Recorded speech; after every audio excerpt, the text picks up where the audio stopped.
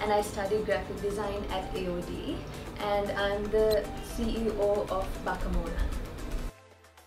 The coolest thing about being creative is the fact that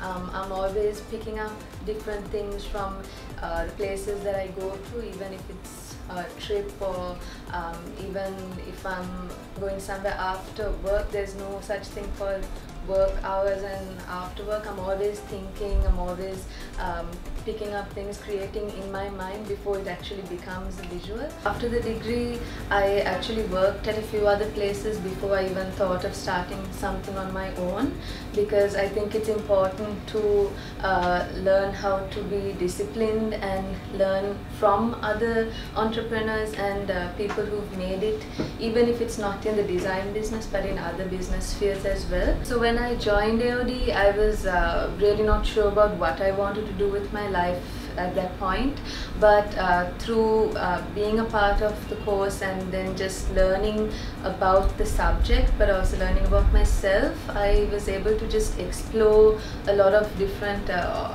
options and opportunities and also just push myself a lot. I would really like to encourage other people to also just uh, identi identify what your strength is uh, and then kind of go with that and uh, eventually things will work out but it's not easy but uh, you just have to be really persistent and uh, persevering.